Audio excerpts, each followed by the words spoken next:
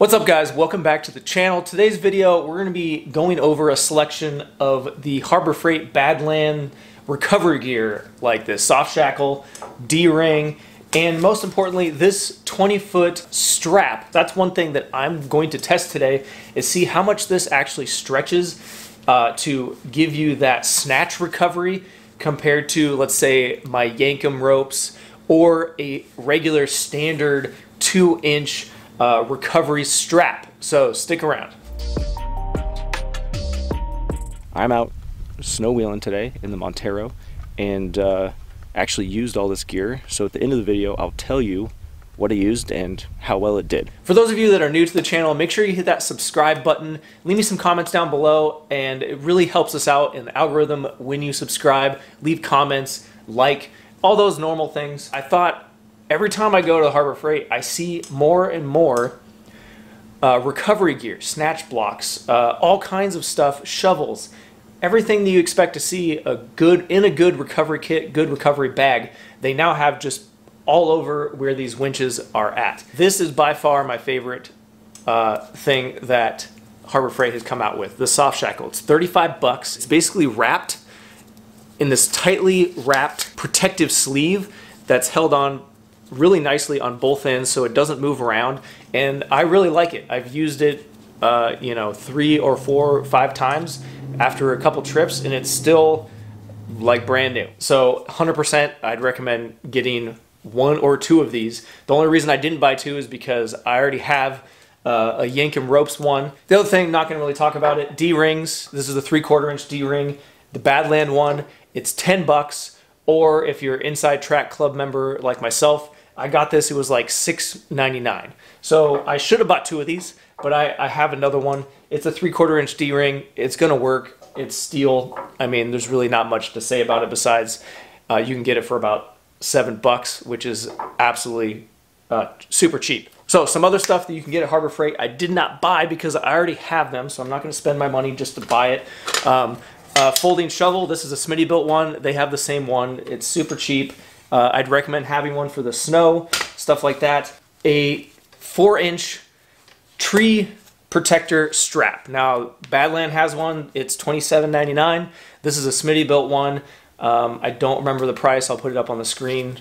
Uh, but I've had this one for years and it still works great. Important thing to have, tree saver. The other thing I didn't buy is a snatch block because I have a nice snatch block right here and I don't I'm not going to spend money on one when I already have one. I actually have two. This one is for synthetic rope and I have another one in another bag that is for strictly for uh, cable. Another thing I will show you is I do have a few of these 7 8 uh, Smittybilt uh, pin style ones, not the screw-on style ones, but I put this in my kind of throwaway bag of stuff I don't use anymore because I ended up not liking the pin. I thought I was going to like the pin because uh, it just, you don't have to screw it in. You just put the pin in. But what happens is, is these pins uh, bend and cause issues and it's really difficult to get them in and out.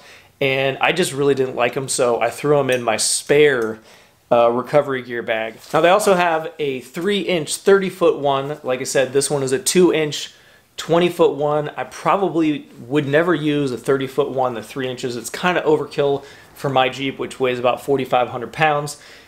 Probably if you have a full size rig, something really heavy, I would definitely recommend getting the little bit bigger uh, recovery rope and, and, or strap and shackles.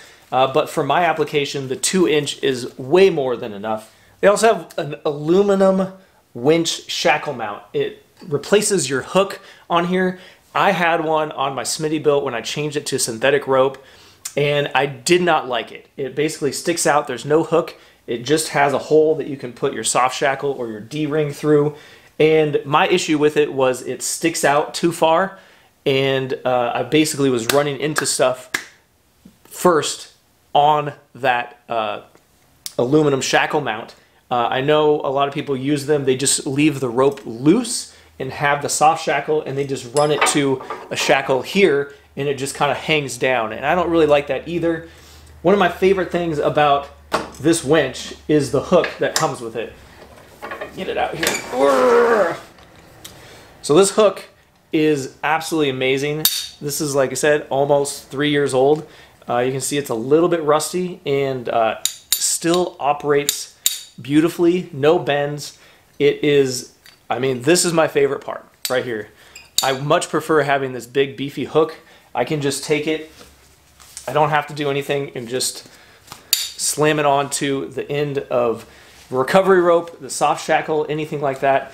It's so quick and easy. I like that it's large and when I put it up against the fair lead, it folds in and it's basically flush and the, the bull bar on this bumper sticks out a little bit farther than it so it protects the whole bumper. You can buy these individually just this size. This is a 3 8 size. You can buy uh, the smaller one, like the one that was on my Subaru, the Apex 5500 winch. Now this is a 2 inch wide by 20 foot long nylon webbed recovery snatch strap. So the breaking strength on this is 20,000 pounds and it is rated at 6,600 pounds under a load. So the, a recovery snatch strap like this one is uh, will have some a little bit of give to it. So it's not like a tow strap or like a strap uh, that you would wrap around a tree. Those are a slightly different. They don't have any give to them. I really like these reinforced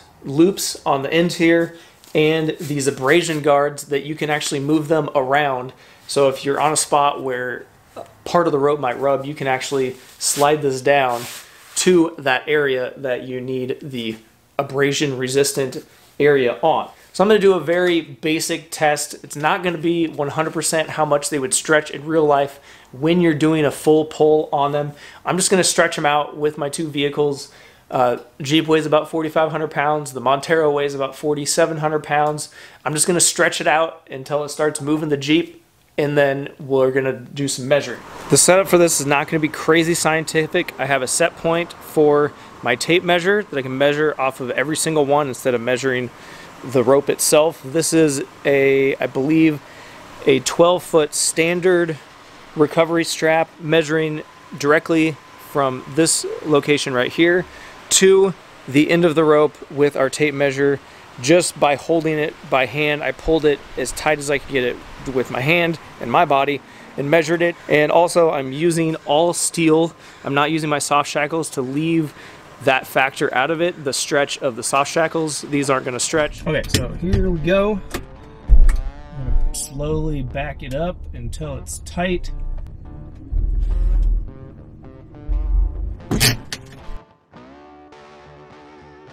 So we have the Badland snatch strap now. Slowly back it out.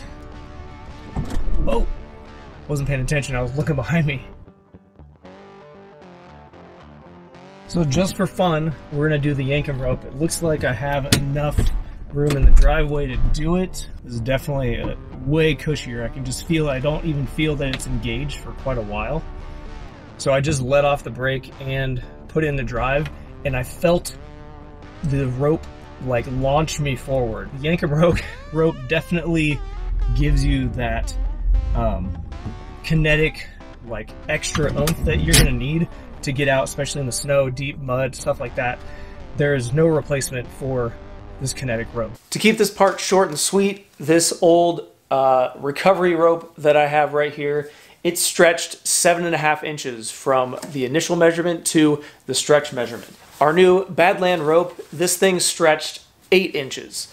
So it stretched about the same. Uh, they're on, I would say they're on the same, you know, amount of stretch. And then obviously the Yankum rope, which is a totally different ball game kind of rope. It stretched two feet one inches.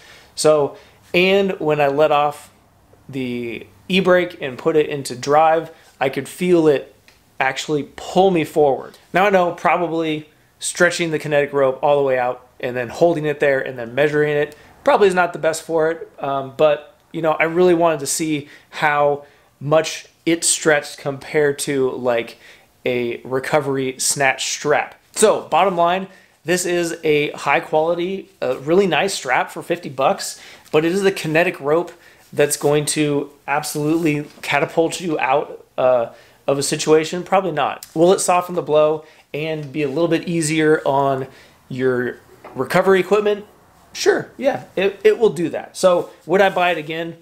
Yes, I will buy it again for 50 bucks. I like it. The snow is so bright out here that we're gonna try and film in here. This snatch strap actually did way better than I had expected. It actually felt pretty soft and Nate had to pull me basically all the way here. Um, there's a lot of spots where I got I bottomed out and got stuck. We got tire chains on here. We did the best we could, but I'm bottoming out. It's just no lift kit on this thing. It's just too much for it. So we used the combination of this soft shackle, which I'd been using before with the Jeep and with this, and it's still holding up really well. Um, you can kind of see on this side, this little bit of wrap is coming off because that's where it was pulling on right here. Um, but it doesn't affect anything at all. It's just a little bit looser than it was before. Still working great. This abrasion area here holding up really well. This was the side on Nate's that had the hard shackle, not the soft shackle. The only thing that happened was this kind of area right here, but you can see this is a tire mark. Uh, when Nate was pulling me, we just left the strap attached and I drove over it multiple times. You can see on this side as well. So that is from me driving over it, not just from normal use. So overall, I'd say this held up really well and I do recommend it. That's going to be it for this video, guys. Make sure you like, subscribe, do all the stuff you're supposed to do. If you got any comments, leave it down below. And uh, if you guys have any experience with some of the new Harbor Freight recovery gear, either good or bad, I want to hear about it. Leave it down in the comments. I want to know what your guys' experiences is with uh, this stuff.